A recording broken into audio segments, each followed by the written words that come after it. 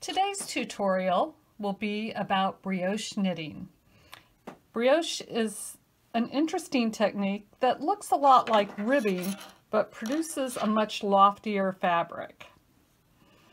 I'm going to show you the basics and then in this month's newsletter there's a free pattern for this cowl called the Brown County Brioche Cowl and the pattern will also go over the basics of increasing and decreasing in brioche knitting.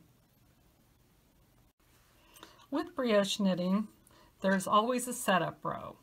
I've cast on 11 stitches and I like to do brioche knitting with an odd number of stitches because then each edge looks the same. In the setup row, we're going to alternate between slipping a stitch and yarn over at the same time and knitting a stitch. So the first stitch we're going to slip as if to purl and yarn over. The second stitch we'll knit.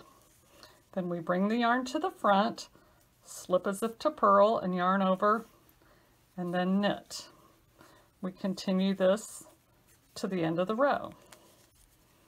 So we're slipping purlwise and yarning over at the same time, then knitting the next stitch. Continue to the very last stitch is the slip one, yarn over. So we'll bring the yarn to the front here. Now the next row, we're going to do what is called a brioche knit, and you'll see it abbreviated as BRK. So in this, it's much like a knit two together. You knit the stitch that was slipped and the yarn over together. And then we're going to bring the yarn to the front, slip and yarn over. Now here's the next brioche stitch and you can see the yarn over from the previous row and the knit, slip, and then we'll brioche knit, slip with the yarn over, and brioche knit,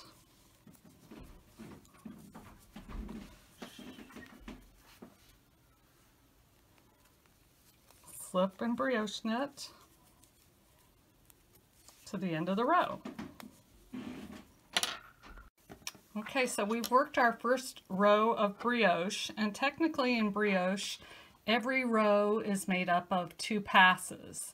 You go one direction and you knit half the stitches and slip half the stitches, then you turn around and go the other direction and you'll knit the stitches that were slipped in the previous row and slip the ones that were knitted in the previous row. So this, the first row, the rows are normally marked with A and B, in brioche knitting. So the first row that we worked was row 1A, and now we're going to go and work row 1B.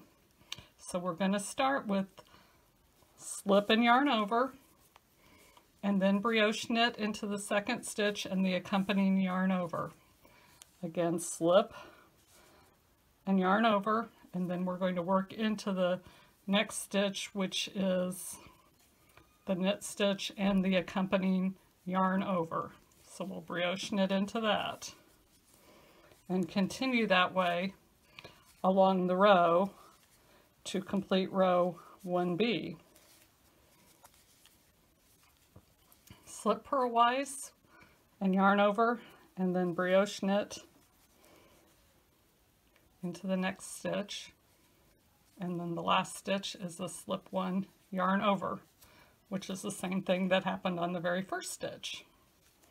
So then we'll move on to row two. We'll need to work several rows before we can really see the pattern. So we're going to brioche knit into the first stitch, slip one yarn over to the second, brioche knit, slip one yarn over, brioche knit, slip one yarn over, so this will be row 2A. So the first pass, we get to the last stitch, we brioche knit together. And then we'll do row 2B.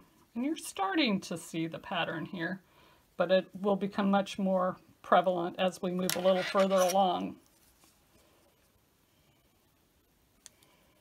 Okay, we start off with slip one yarn over and brioche knit.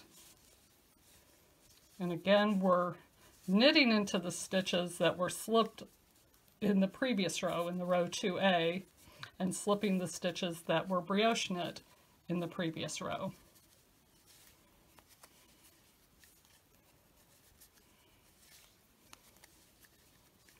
Whatever stitch you started off with, we started off with a slip one yarn over and we'll end with a slip one yarn over. And you always have to, you know, just be careful on that first stitch because the yarn over is just there and there's nothing holding it there besides your finger.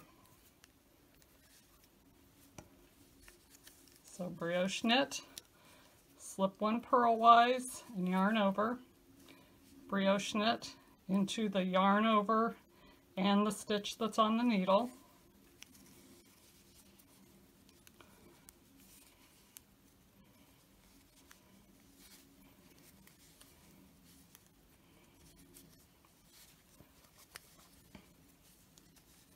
It's really not a difficult thing to do. Once you get used to it, it is a little bit different than regular knitting, but you're only knitting half the, the stitches, so things tend to go pretty quickly.